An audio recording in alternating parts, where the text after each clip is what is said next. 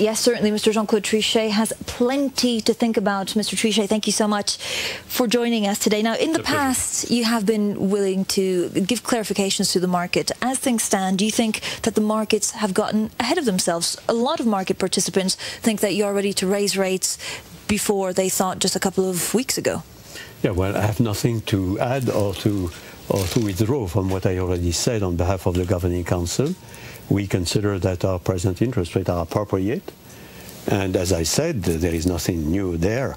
We always take the decision which permit us to deliver price stability. And uh, as you know, we are very proud, uh, my colleagues and myself, because uh, after 12 years of the euro, we have delivered an average yearly inflation of 1.97%, less than 2, but close to 2. And uh, that is very important, of course. It's a track record which is the best since uh, 50 years, if I may, in uh, our own European environment.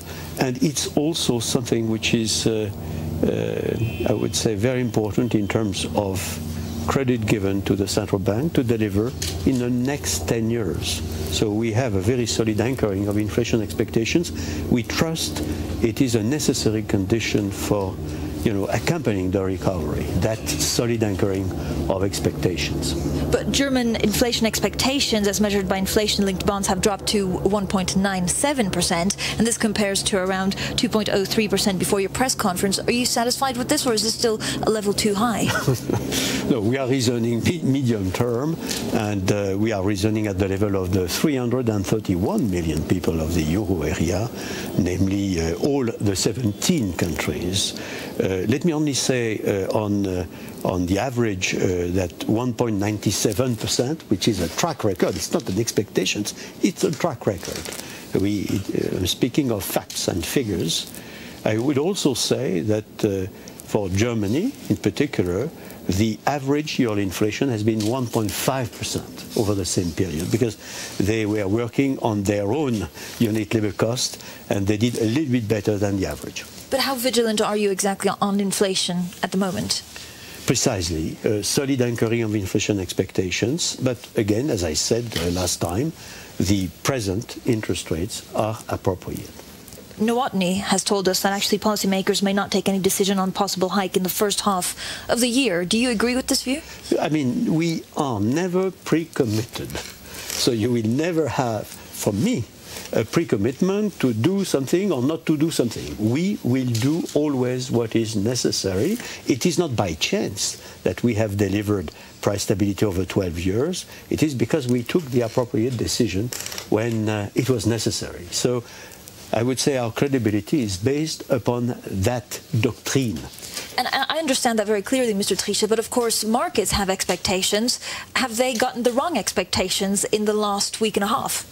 I mean, again, their expectations are based upon what they think will be the threats as regards inflation and so forth. But what is much more important, and you mentioned that a moment ago as regards the inflation expectations for one particular country, what is important, they know that we will deliver, and they trust us to deliver. And that is, of course, something which is extremely important for them.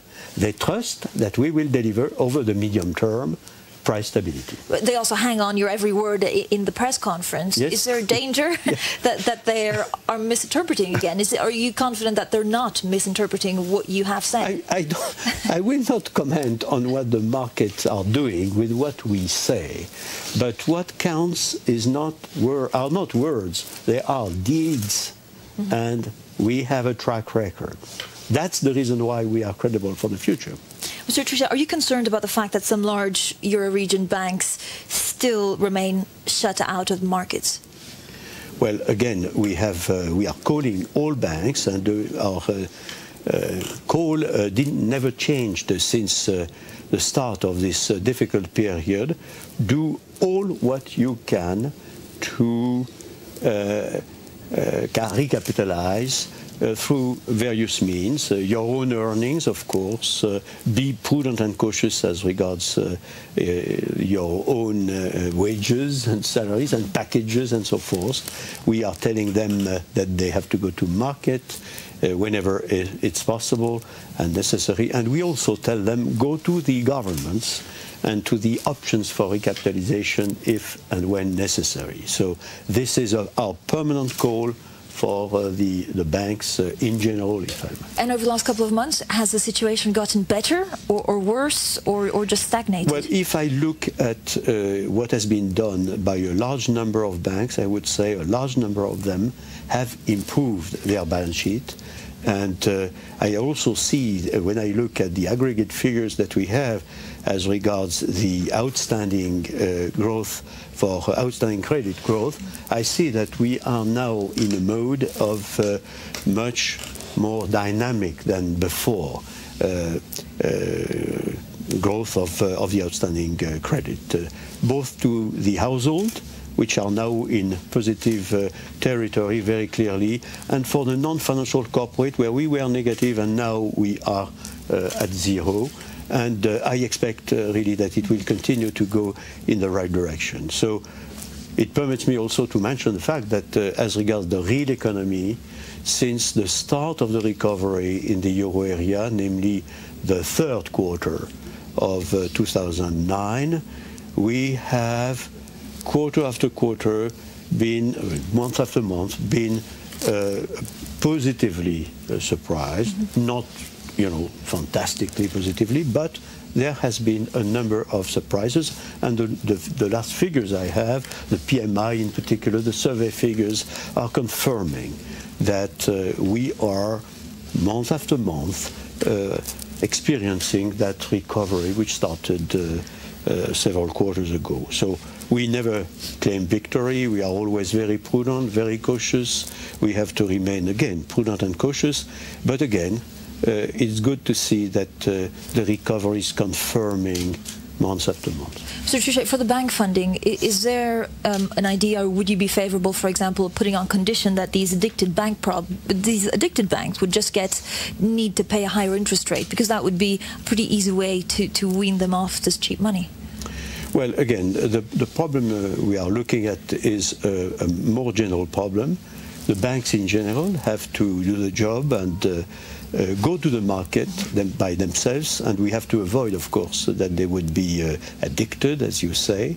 And we have also the important issue, which is for the governments to do the job of their own uh, uh, recovery, if I may, as regards the sustainability of public finance. And uh, now we have all the countries in Europe, and I would say in the euro area as well and out of the euro area, with the uh, adjustment program, and we are calling on all of them to be very, very strict in following what has been decided and what they have themselves fixed as regards their own targets. Uh, Mr. Trichet, I also wanted to talk a little bit about the EFSF. Would you welcome the fact that this entity could buy government bonds? We have said uh, on behalf, uh, and I have said on behalf of the Governing Council, that we would uh, call upon the governments to improve the functioning of this uh, stabilization fund, both in quantity and in quality. And quality meaning flexibility, uh, be having had uh, uh, and deciding a new doctrine which would be more flexible.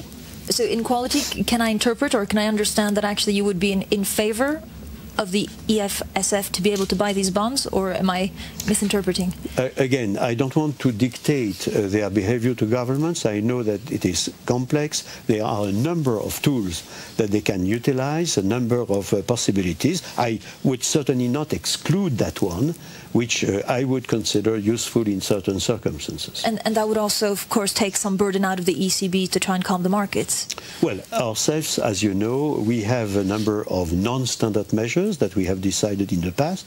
This uh, program to purchase securities is part of these non-standard uh, uh, measures.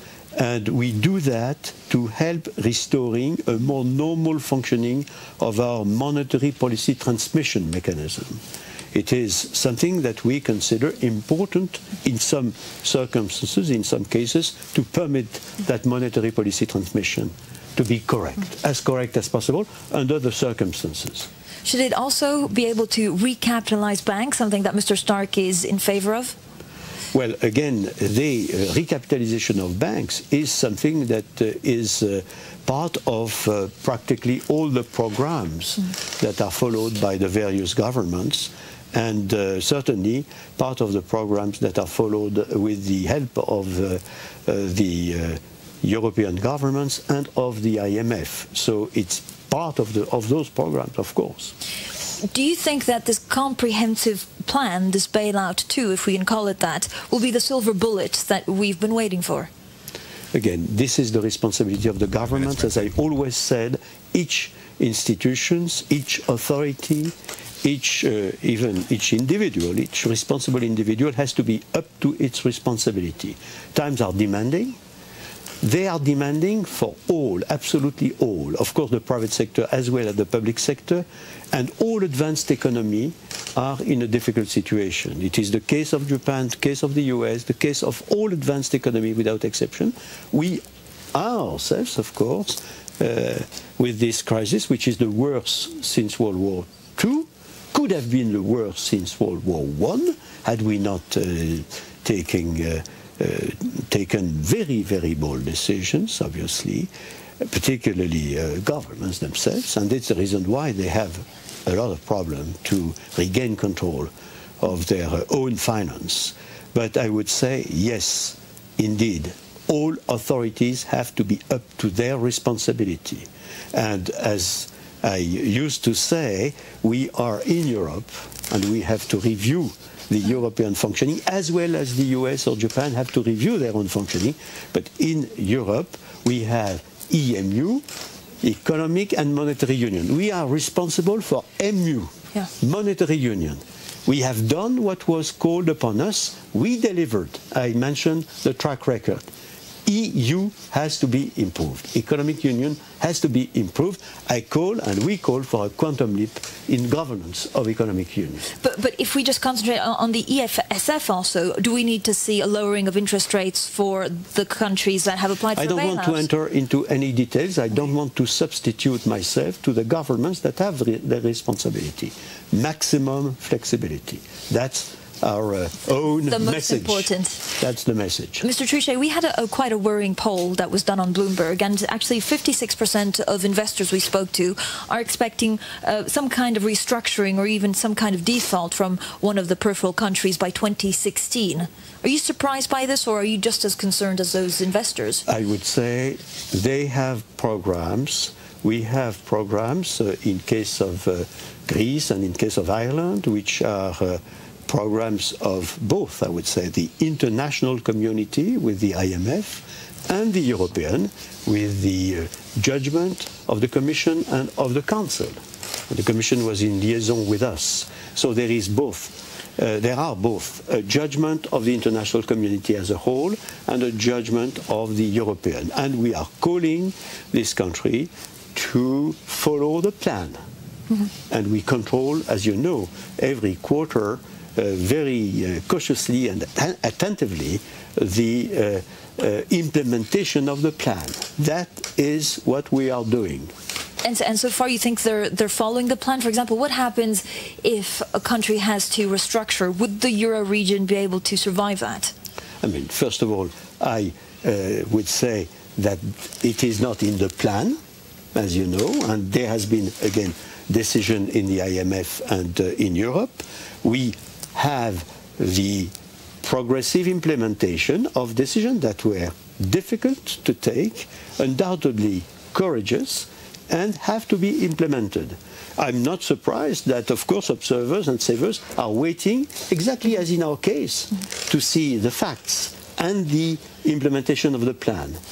But this is decisive. What is decisive is you do the job, and it's true for all, absolutely all advanced economy. You do the job. In five years from now, though, if we look at the Eurozone, will they have more members than we do today or, or less members? I mean, we start. you know, those questions, I have them since the very beginning. We were supposed to have zero members. Then we were supposed to have only a handful of members. Then we uh, started with 11 members, which was something which uh, has been considered as absolutely impossible by a lot of observers before the euro was set up. Then from 11, we came to 17, only 12 years afterwards, uh, because it was at the beginning of this year that Estonia joined us. So it is an historical process which is going on. And uh, I have to say, those who, and they were very numerous from time to time who were betting on the fact that we won't do the job uh, were proved a little bit uh, out of the reality. So we will see. It's hard work. And uh, we will see uh, how many uh, additional members are there. We are telling the additional members, those who are, you know, called to enter because they have signed the Maastricht Treaty, we tell them it is very serious. You have to be sure that you meet the requirements. To enter into the euro area means that you are prepared to do that.